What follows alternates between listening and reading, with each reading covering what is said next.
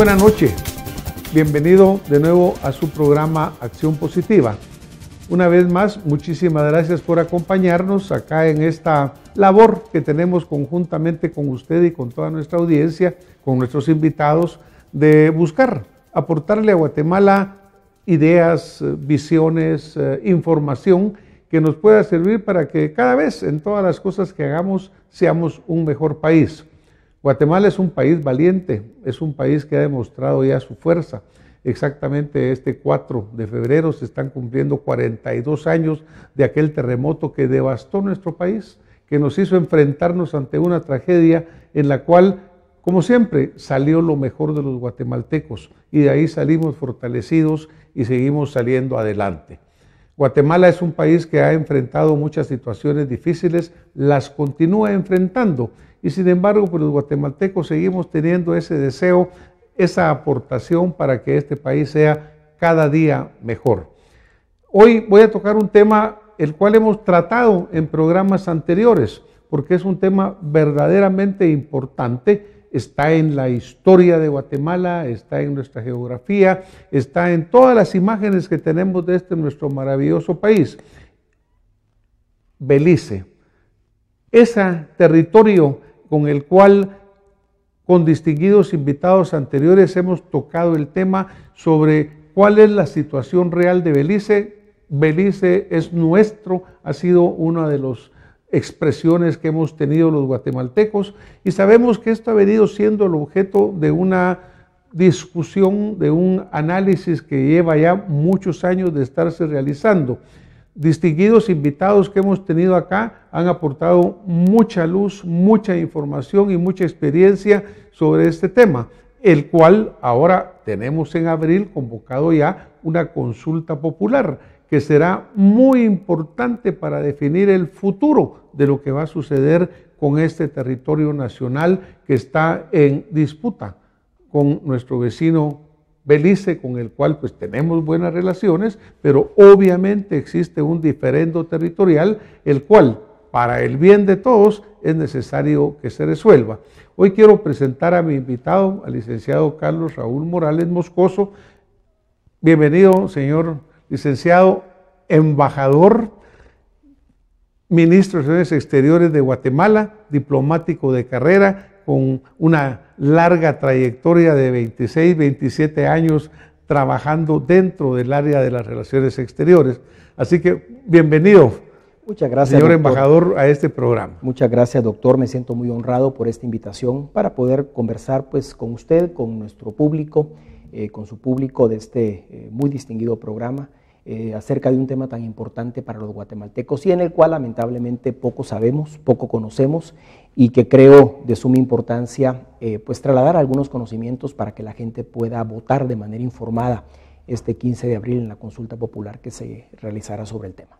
Muchísimas gracias, señor embajador. Pues como yo comentaba en la introducción del programa, ya llevamos nosotros varios programas dedicados a este, a este tema porque eh, algo que hemos encontrado realmente es que existen diferentes niveles de información del guatemalteco sobre la situación de Belice.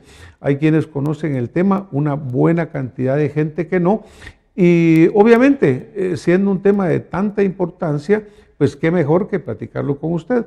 Me recuerdo que nos reunimos recientemente en, un pequeño grupo de personas interesadas en esto y surgió la idea que usted nos acompañara para continuar con su experiencia de cuántos años trabajando en el tema, aportando para que el guatemalteco, que tenemos el gusto que nos acompañe esta noche, pueda tener más información, sobre todo porque estamos tan cerca de esa consulta popular. Señor embajador, ¿cuál diría usted que es la legítima razón por la cual Guatemala tiene un derecho para esta requisición, este diferendo territorial que quisiera resolver. ¿En qué se fundamenta el derecho de Guatemala? Doctor, eh, Guatemala tiene derechos legítimos, eh, heredó un título eh, de la corona española cuando nos independizamos sobre esos territorios. Alrededor de 1783 eh, los españoles le otorgan una concesión a los piratas británicos de la época, a los piratas ingleses, para poder explotar el palo de tinte en una pequeña parte del territorio que hoy conocemos como Belice, porque estos piratas se daban a la, a la tarea de asaltar en alta mar, aprovechando los bajos que hay eh, cerca de la costa del territorio que hoy conocemos como Belice, para asaltar a los barcos de la corona española y poder robar pues, todo el oro que llevaban hacia, hacia del nuevo mundo hacia el viejo mundo. España, cansada de estos, de estos atracos en el mar, les concede un pedazo de territorio eh, y de hecho les da esta primera concesión en 1783. Esa concesión se extiende en 1786, son las únicas concesiones que España otorgó, no son de carácter territorial, eh, es una concesión estrictamente para explotar eh, el palo de tinte que en ese momento existía en ese territorio. Lamentablemente nadie sacó a los británicos, nadie los expulsó y lo que sucedió a continuación, doctor, es que ellos fueron usurpando el territorio que hoy conocemos como Belice. La primera usurpación la hicieron alrededor, antes de 1800, llegaron hacia lo que hoy conocemos como bandera española, que es parte de la línea de adiacencia de Melchor de Mencos hacia el norte. Y la segunda usurpación la hicieron en 1821, aprovechando la independencia de los países centroamericanos, de, la Federación Centroamericana, eh, y se corrieron hasta lo que hoy conocemos como el río Sarstún. Eh, esas son usurpaciones, no hay títulos de ninguna manera.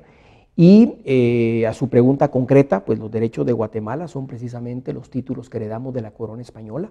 Eh, claro, se contraponen con ese derecho de posesión que Belice ha realizado desde entonces, ahora Belice, los, ingleses en, en, un primer momento, y que en todo caso, pues esos derechos eh, que tenga o no tenga Guatemala tendrán que ser resueltos por una instancia internacional competente para resolver esos derechos, que es la Corte Internacional de Justicia, que es la instancia que hemos elegido con Belice de manera bilateral.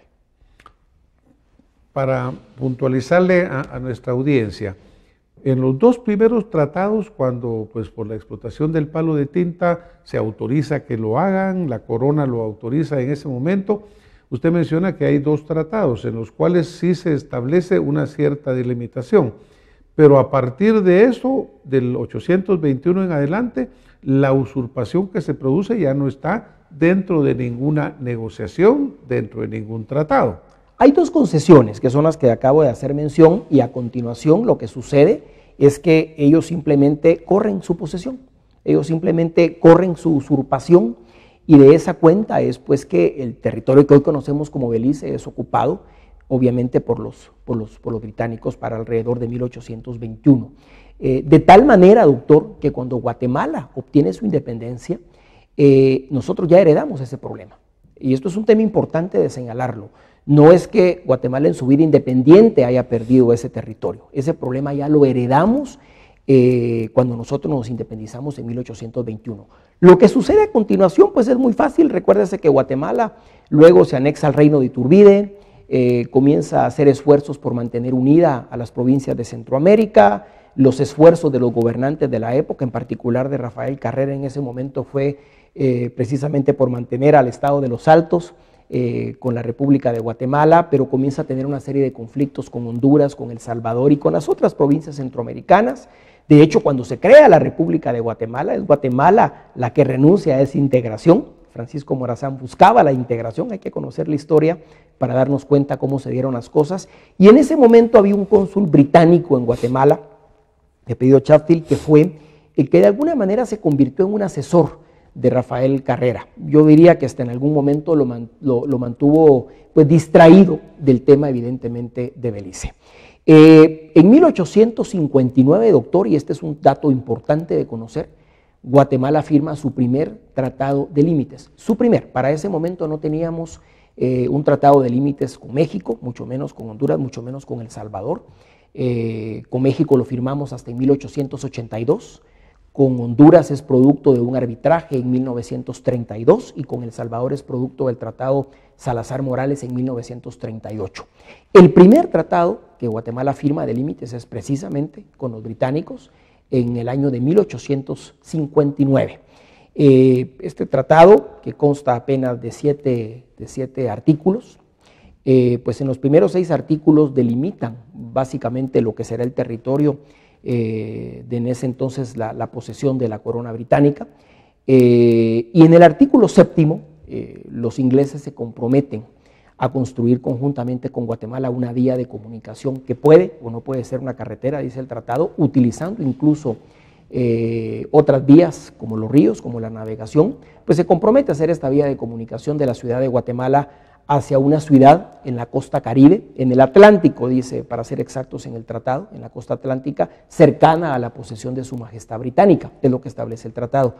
Esta cláusula nunca la, cumplió, la cumplieron los británicos, de hecho un intercambio de notas en 1932, los, los ingleses intentaron incluso monumentar eh, el territorio de, de, su majestad británica y Guatemala en ese momento, el canciller de la época, Skinner Klee, les manda decir que eh, Guatemala está en la disposición, pero siempre y cuando Reino Unido pueda, cumpla, eh, obviamente, con el compromiso que hizo en 1859. Los británicos nunca cumplieron y en 1945, si la mente no me falla, 1946, el Congreso de la época declara prácticamente de Guatemala, declara nulo ese tratado. Y 86 años más tarde. Eso es importante de tomarlo en cuenta también. El tiempo sigue transcurriendo, eh, viene la época de los gobiernos militares en Guatemala. Y en 1982, doctor, se acercan los ingleses a decirnos nosotros vamos a darle la independencia, 1981, febrero del 81, vamos, nos dicen vamos a darle la independencia unilateral a Belice, no queremos que Guatemala se oponga y en ese momento nos plantean lo que se conocen como las bases de entendimiento y nos dicen, miren, a cambio de que Guatemala no se oponga a esta declaración de independencia, les ofrecemos devolver Toledo, que es el distrito más al sur de Belice, que de hecho es parte integral de la provincia de las Verapaces, porque eh, la etnia que habita ahí es la quechí, es prácticamente la misma topografía. Este ofrecimiento que de alguna manera en Belice se sabe, genera muchos disturbios en Belice, protestas, eh, unas protestas muy famosas que hubo en febrero del 81. Guatemala en ese momento estaba en la, en la posición de o todo o nada, y Guatemala rechaza la propuesta de los ingleses y la respuesta que tenemos a cambio, doctor, en el, 21 de septiembre de 1981 fue la declaratoria de, independencia unilateral que, le da el Reino Unido a Belice, eh, por supuesto conservando Toledo, ¿no? Guatemala prácticamente se queda sin nada. Era la oportunidad de poder tener una costa, eh, hacia el Mar Caribe, era la oportunidad de que el Petén pudiera tener esa costa y de poder mantener íntegra la provincia de las Verapaces, pero bueno, Guatemala lo rechazó.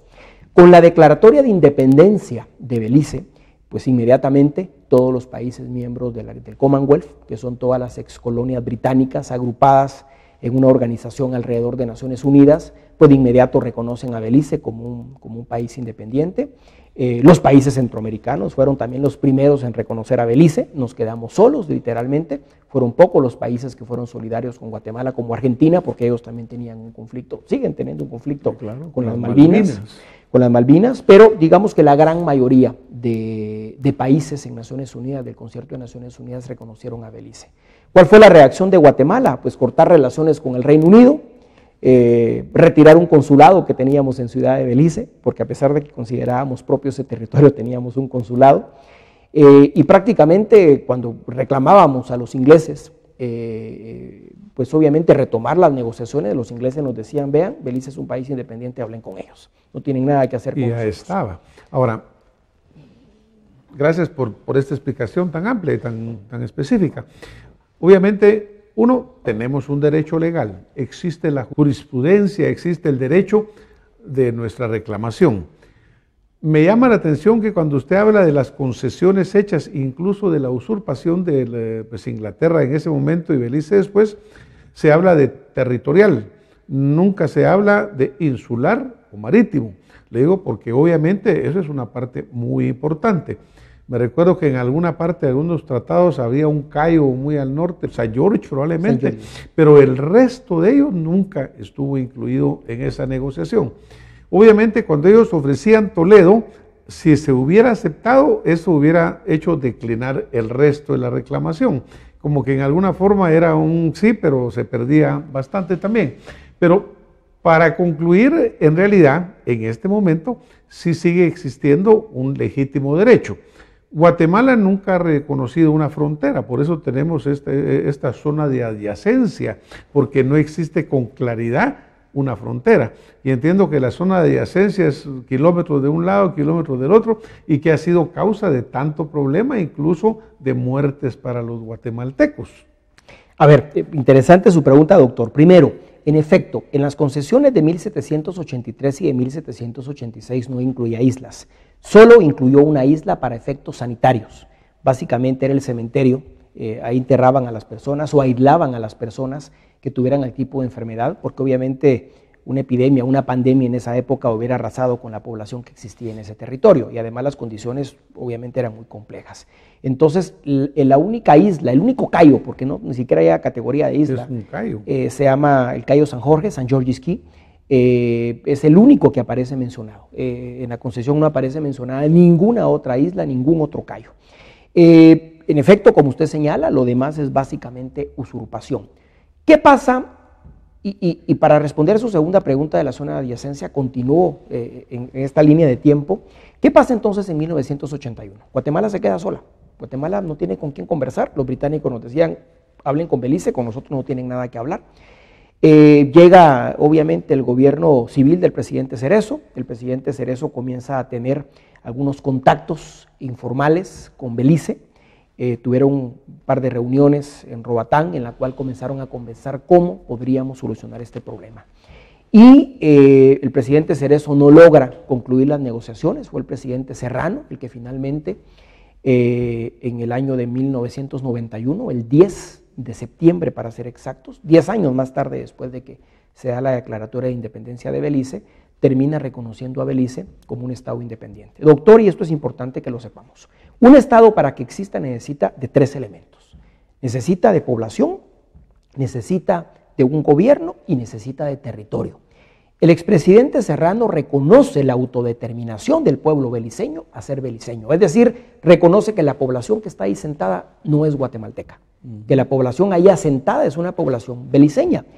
E hizo lo correcto, porque en realidad esa población no se consideraba guatemalteca, ellos se consideran beliceños, tienen hasta su propio idioma, sus propias costumbres, su propia cultura, muy distinta a la guatemalteca. Y lo segundo que reconoció fue que el gobierno constituido, la forma de organización de los beliceños, que ese gobierno era un gobierno evidentemente distinto al guatemalteco, era un gobierno de esa población beliceña. Con lo cual, pues reconoce el Estado de Belice. Lo que no hizo el presidente Serrano fue reconocer el territorio que ellos están ocupando porque consideraba que ese territorio le pertenece obviamente a la República de Guatemala, por todo lo que hemos conversado, por los derechos que nosotros heredamos en el momento de independizarnos de la corona española. Una, una, voy a hacer una pregunta aquí rápida porque nos la han hecho anterior. Cuando habla usted del territorio de Belice, ¿habla de todo el territorio o la parte que va, creo que es del río Sibún al río Sarstún, que fue usurpada? Fuera de las concesiones. En ese momento Guatemala no reconoció nada y al día de hoy no sigue reconociendo ni una pulgada del territorio Belice como parte de ese territorio. Es un tema que tendrá que conocer la Corte Internacional de Justicia en su momento cuando lleguemos. Eh, la Corte tendrá que decidir qué derechos son los que tiene Guatemala y recuérdese que además el territorio no solo es continental, es insular y es marítimo. El reclamo es de tres tipos.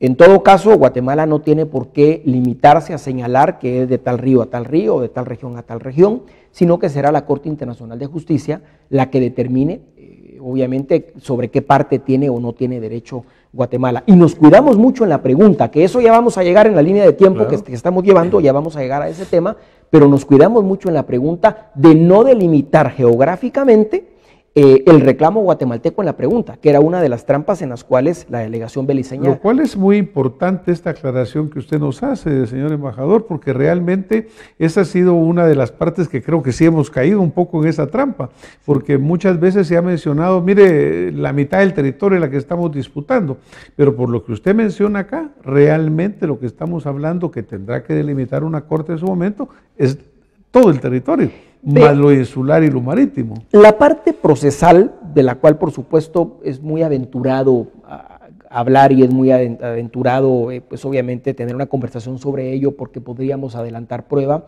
es muy compleja. El gobierno de Guatemala en su momento, cuando los dos países hayan votado sí y estemos ya eh, obviamente iniciando el proceso en la Corte Internacional de Justicia, tendrá que plantear una demanda, porque es Guatemala la que está demandando. Eh, y en esa demanda Guatemala pues tendrá que incluir el tamaño precisamente, eh, tendrá que incluir el tamaño obviamente de la demanda guatemalteca, eh, para que la Corte evidentemente conozca y dirima esa demanda que, que, Guatemala va a hacer. Pero es un tema procesal, doctor, que en su momento tendrá que ver el gobierno de Guatemala con los abogados que contrate, que llevarán el caso en la Corte Internacional de Justicia. Pero si gusta, para comprender mejor, y regresamos al tiempo, en el 91 le decía, el gobierno de Serrano reconoce la autodeterminación de los beliceños. A ser beliceños, reconoce al gobierno de Belice como el gobierno de ese país, pero no reconoce el territorio.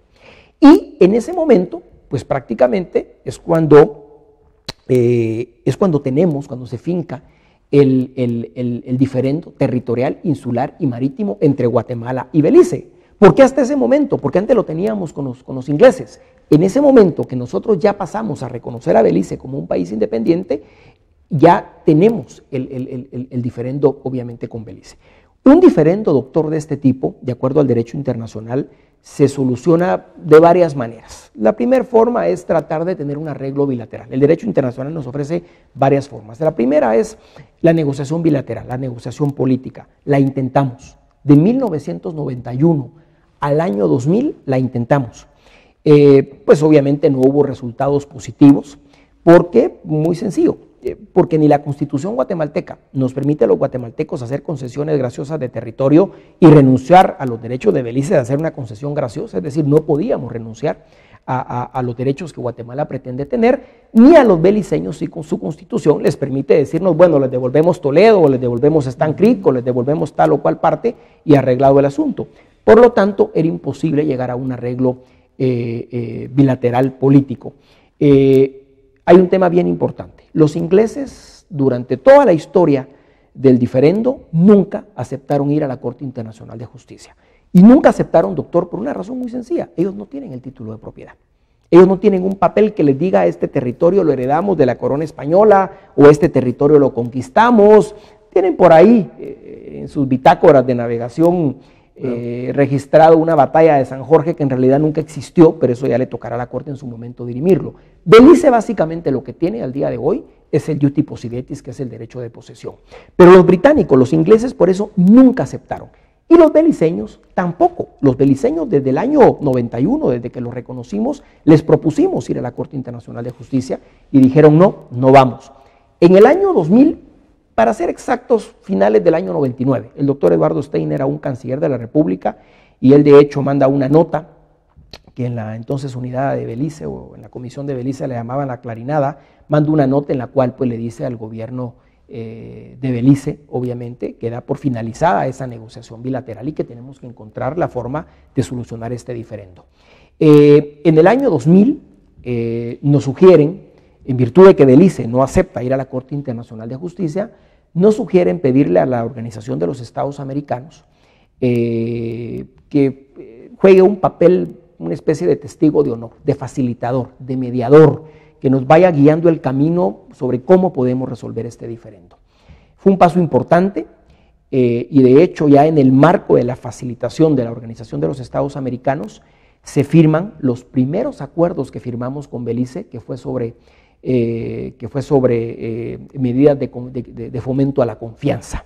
En estos acuerdos, una de las primeras medidas que tomamos, que tomamos, y esto es en respuesta a una de sus preguntas, fue delimitar una línea de adiacencia. ¿Qué es una línea de adiacencia? Es una línea imaginaria, doctor, porque no está trazada en el terreno. Claro, no existe realmente. No existe realmente, eh, pero es una línea imaginaria que está eso sí en los mapas y que tenemos las coordenadas obtenidas de los satélites, a través de la cual sabemos a partir de donde Guatemala reconoce la administración temporal de ese territorio por parte del gobierno de Belice y mientras la instancia internacional que nosotros aspiramos resuelve obviamente esos derechos que Guatemala pretende tener.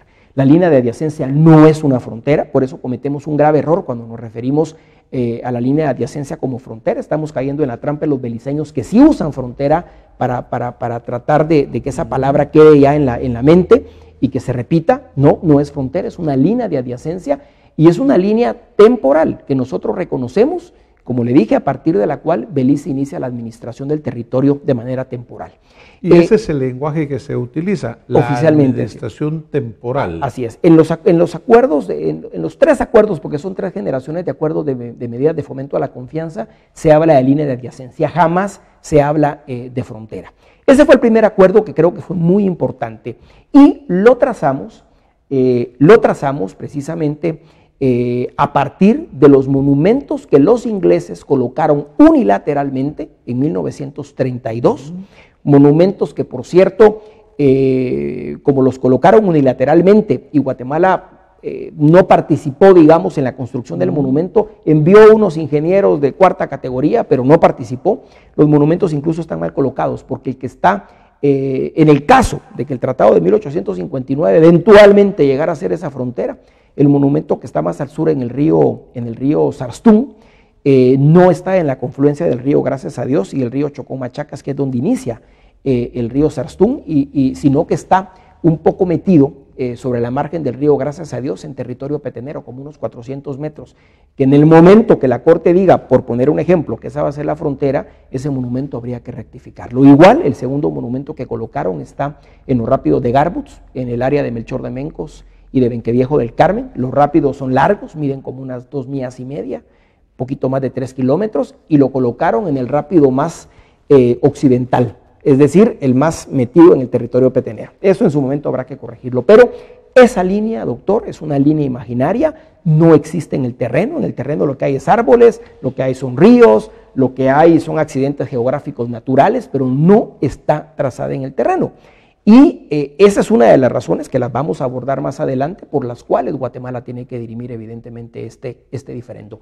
Y el otro acuerdo que acordamos en esas medidas de fomento a la confianza eh, fue también la creación de una oficina de la Organización de los Estados Americanos, que le llamamos Oficina de la OEA, en la zona de adyacencia, establecida precisamente en el lugar, cuya función es de alguna manera evitar incidentes, promover la paz, promover la confianza, educar a los niños en una cultura de paz, en una cultura de armonía, eh, para de alguna manera buscar, obviamente, acercar a las poblaciones. La línea de adyacencia tiene una zona, y es que la línea, por supuesto, es una, pero hay un kilómetro hacia la izquierda, hay un kilómetro hacia la derecha, que sirve de zona, eh, es una especie de zona buffer eh, para evitar precisamente ese tipo de incidentes. Y que sin embargo se producen. señor embajador, el tema muy interesante, hoy se nos acortó. Vamos a ir el siguiente domingo con nuestra audiencia para seguir eh, pues con este tan interesante programa, para que tengamos toda esta información que usted hoy nos está compartiendo que va a servir para que el guatemalteco forme su criterio y verdaderamente participe razonadamente en una próxima consulta popular para definir todos estos términos. Hoy nos tenemos que ir. Muchísimas gracias por estar con nosotros y los invito desde ya a que el próximo domingo nos acompañen con el señor embajador Carlos Raúl Morales para continuar analizando este tema tan importante como es Belice y su relación con Guatemala. Buenas noches. Hasta la próxima semana.